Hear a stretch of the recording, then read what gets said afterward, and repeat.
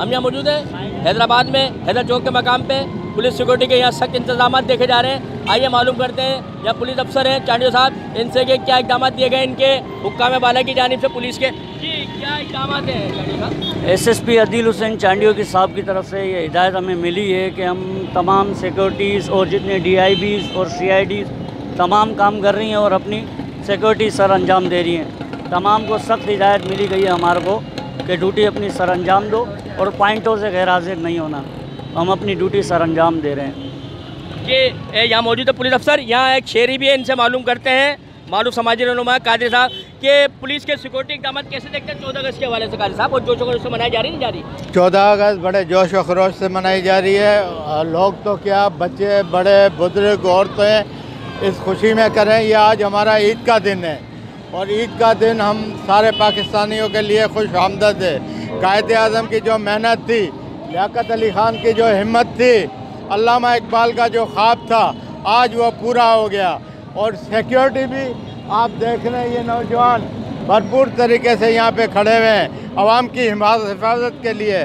और मेरी तरफ़ से पाकिस्तान जिंदाबाद, आर्मी जिंदाबाद। चौदह अगस्त, बहुत शान शान तरीके से मनाई जाएगी, इंशाल्लाह। और सिक्योरिटी के हवाले से कल हमने देखा कि यहाँ पर हैदराबाद पुलिस ने, डिस्ट्रिक्ट पुलिस ने जो हैदराबाद में फ्लैग मार्च भी किया, उसके साथ साथ उन्होंने कॉमिंग ऑपरेशन किया मुख्तलिफ़ इलाकों का।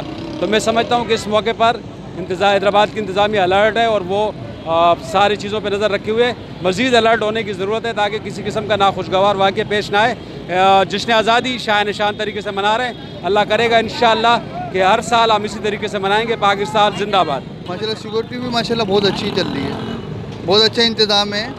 ये पुलिस के अमला यहाँ मौजूद है, यहाँ गाड़ियाँ भी मौजूद हैं, इनकी फाइटर भी मौजूद है और मुमकिन ना खुशगवार वाक़े से निमटने के लिए ये ताज़ा दम दस्ते भी दिखाई दे रहे हैं और पुलिस एहलकार और दीगर लोग भी यहाँ नज़र आ रहे हैं और सिक्योरिटी के हालात देखते हुए अल्लाह का शुक्र है कि यहाँ शहरियों का कहना है कि पीसफुल हालात हैं और जश्न आज़ादी के हवाले से जश्न आज़ादी इस दफ़ा पुरज़म मनाने का जहाँ अज़म लिया हुआ है, इस तरह से पुलिस का भी है कि इनके हुक्म बाला ने इन्हें हिदायत दी है खसूसी तौर पर कि फौरी तौर पर अगर किसी भी नाशगुआ वाक़ी की इतला मिले तो इसको कंपनसेट करते हुए और वहाँ पहुँचा जाए।